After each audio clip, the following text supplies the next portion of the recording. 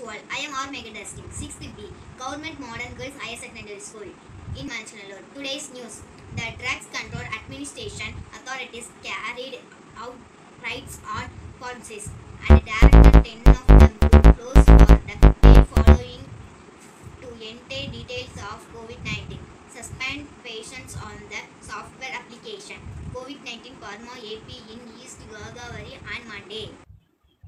At least two people were killed and 15 others were injured after a house under renovation in Dangubra.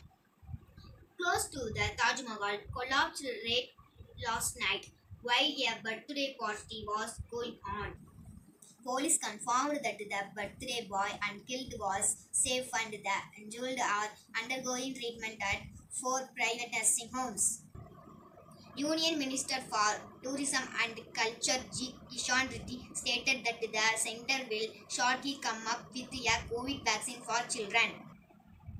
With the effort from July 19, 2021, 21, the Life Insurance Corporation of India has launched Arogya Rakshak, a non-linked, non-participating, regular premium individual health insurance scheme. The Taliban will be judged by its deeds rather than words.